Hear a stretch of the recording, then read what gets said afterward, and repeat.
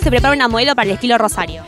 Y desde muy temprano, desde las 11 que estamos acá, eh, primero el fitting de todas las marcas, después vinimos para acá a hacer maquillaje y peinado y ahora estamos esperando a ponernos la ropa para desfilar. Eh, arrancamos con el ensayo, después seguimos probando ropa y bueno, ahora estamos acá con maquillaje, peinado, todo ya para estar listos para las 7.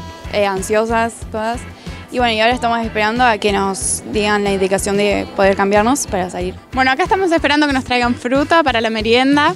Y bien, hablas, nos contamos anécdotas, está bueno. Acá compartiendo con las chicas, esperando el maquillaje, ya el peinado está. Al mediodía salimos a comer, tuvimos un rato libre. Así que queda esperar y mientras charlar un rato. ¿Pasás tiempo acá con las chicas? Sí, sí, te vas haciendo amigas porque bueno, tienes que estar bastante tiempo y la pasás re bien, charlas de un poco, de cualquier cosa. Así que nada, te preparas.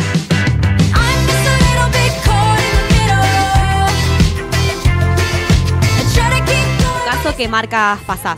Yo paso a Lo Martínez, Clary Barguren y I Not Did. Cher y Cosiupa. Eh, nos toca Sweet, Vitamina y Semillero. ¿Cómo son tus conjuntos? Eh, en Vitamina tengo una camisita recanchera con un shortcito, es un look muy de día. Después en Rapsodia, eh, bikini. Eh, bueno, Melocotón me tocó una blusita con un jean. Son unos conjuntos re lindos, bien de verano, bien simples y muy cómodos por suerte. ¿Cómo se vivió el estilo Rosario 2018 desde adentro? Intenso. Eh, bien, siempre digamos está, está bueno porque hay muy buena onda, se maneja digamos todo bastante organizado, así que todo perfecto, pero bueno, con los nervios previos a la salida a pasarela.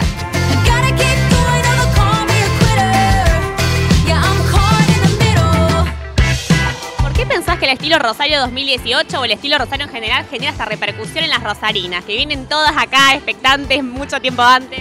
No, creo que no solamente es eh, en Rosario y en las Rosarinas que lo notamos, pero es un evento que fue tomando mucha dimensión y, se, enganchan muchísimo. Marcas de, renombre eh, potencian a las marcas que tenemos en la ciudad y por otro lado las marcas que arriban también se quieren mostrar y esa de alguna manera ese espacio que se quieren ganar eh, nos eleva a nosotros también en el evento.